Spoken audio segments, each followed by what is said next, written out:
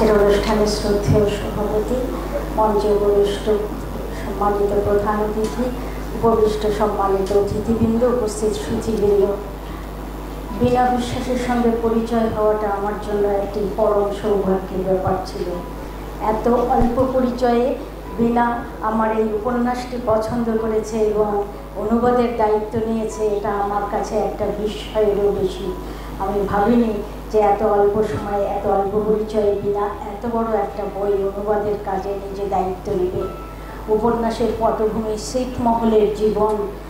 সাতচল্লিশ পরবর্তী সময় থেকে যে জীবন আমাদের লোকেরা কাটিয়েছে, বন্দি জীবন সেই জীবনের পটভূমি আমি গ্রহণ করেছি দহগ্রাম এবং আমি অঙ্গপ্রতাকে যেখানে আমি কয়েকবার গিয়েছি, দেখেছি সব সময় ছোট্ট একটু জায়গা বিএসএস ঘুরে রেখেছে বিএসএফের ঘুরে রাখার মধ্য দিয়ে সেখানে কীরকম একটা নিভৃত, নিপীড়িত জীবনের মধ্যে মানুষের বসবাস ছিল, সেটাকেই আমি উপন্যাসে নিয়ে এসেছি।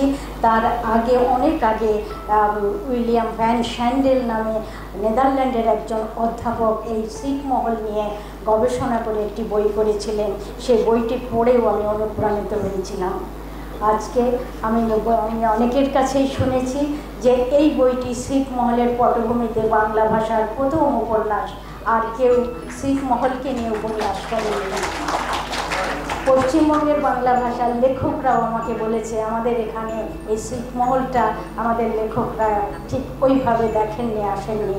আমি আমি আমার মাননীয় প্রধানমন্ত্রীকে কৃতজ্ঞতা জানাই যে উনিশশো চুয়াত্তর সালে মোদি মুজিব ইন্দিরা চুক্তিতে ছিটমহলের একটি ব্যবস্থা করার বিষয় ছিল। কিন্তু পরবর্তী সময়ে বঙ্গবন্ধু জীবন নাশের পরে আর এটা হয়নি। কিন্তু আমাদের প্রধানমন্ত্রী দু হাজার পনেরো সালে ছিটমহলের সমাধা করেছে ভারতের সঙ্গে সংযোগ স্থাপন করে আজকের সময়ে সেই সব মানুষেরা একটি খোলা দরজা পেয়েছে। যে পথে তাদের জন্য বসন্ত বাতাস এসছে এবং তারা সেই জীবনের স্বাদ গ্রহণ করছে, যেখানে তাদের অধিকার বঞ্চনার জায়গাটি বিলুপ্ত হয়েছে। আমি মনে করি এই উপন্যাসের ভেতর দিয়ে সেই সাতচল্লিশ পরবর্তী সময় থেকে দু হাজার পনেরো সাল পর্যন্ত মানুষের জীবনের যে দুর্যোগ এবং ঘনঘটা ছিল দুর্যোগের সব কিছু কাটিয়ে মানুষ যে জীবন যাপন করেছিল, এটি একটি অধ্যায় হয়ে থাকবে ইতিহাসের। আমি আমার কৃতজ্ঞতা প্রকাশ করছি বিনা বিশ্বাসের কাছে, যিনি একজন রবীন্দ্র গবেষক, বিশেষজ্ঞ, যিনি একজন পণ্ডিত মানুষ বলে আমি জানি। তার সঙ্গে পরিচয় হয়ে দেখেছি তার লেখালেখির মাত্রা।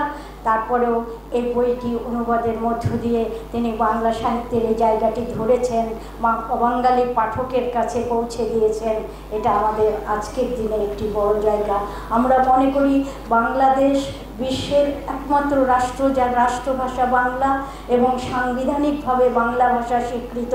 সুতরাং আমাদের সরকারের দায়িত্ব যেমন আছে, এই ভাষাকে আন্তর্জাতিক বিশ্বে পৌঁছে দেওয়ার, তেমনি আমাদের গণমানুষের মধ্যেও এই চেতনাবোধ থাকবে, সুশীল সমাজের মধ্যেও থাকবে, যেন আমাদের সাহিত্য আন্তর্জাতিক বিশ্বে যাওয়ার জন্য এই জটিল পথটি অতিক্রম করে যেতে পারে, যে জটিল পথে ভাষা একটি বড় বাধা। হয়ে থাকে বাইরের বিশ্বের কাছে পৌঁছানোর জন্য। আমাদের একুশে ফেব্রুয়ারি আন্তর্জাতিক মাতৃভাষা দিবস হয়েছে। আমাদের বঙ্গবন্ধুর ভাষণটি ইউনেস্কোর প্রামাণিক দলিলে স্বীকৃত হয়েছে। আমাদের বঙ্গবন্ধু জাতিসংঘে যে ভাষণটি দিয়েছিলেন উনিশশো চুয়াত্তর সালের পঁচিশে সেপ্টেম্বর, এই ভাষণটি এই বছরে নিউ ইয়র্কের সিনেট কর্তৃক বাংলাদেশি এইভাবে আমাদের বাংলা অবদান ভাষাকেন্দ্রিক অবদান এবং আমাদের সাহিত্য যদি আন্তর্জাতিক বিশ্বে যাওয়ার সুযোগ পায়, সেই সুযোগটা আমাদের জন্য একটি বড় পরিসর তৈরি করবে। আমি কামরুলকে আমার অভিনন্দন জানাই যে বঙ্গীয় সাহিত্য পরিষদের সাধারণ সম্পাদক হিসাবে কামরুল এই দায়িত্বটা খুব নিষ্ঠার সঙ্গে করছে। আমাদের সাহিত্য, সংস্কৃতি, প্রচারের জায়গাটি ও গভীরভাবে ধারণ করেছে এবং এগিয়ে যাচ্ছে। আমি আমি সেই জন্যই কামরুলকে অভিনন্দন জানাই আবারও। আর বিনার কাছে কৃতজ্ঞতা প্রকাশ করছি যেন রুব্রিকের মাধ্যমে আমাদের সাহিত্যের আরও বিস্তার ঘটুক, আমাদের কবিতা, গল্প, উপন্যাস, নাটক, আমাদের লেখকরা অটুট। আমাদের তরুণ লেখকরা যারা ভালো লিখবে, তাদের সাহিত্যও যদি বিনা বিচার করেন এবং অনুবাদের ব্যবস্থা করার চেষ্টা করেন, সেটাও আমাদের জন্য একটি বড় জায়গা হবে আমরা মনে করি আমাদের সাহিত্য অন্তত ভারতের মতো বহু ভাষাভিত্তিক রাষ্ট্রের কাছে ইংরেজি মাধ্যমে অনেকের কাছে পৌঁছাবে।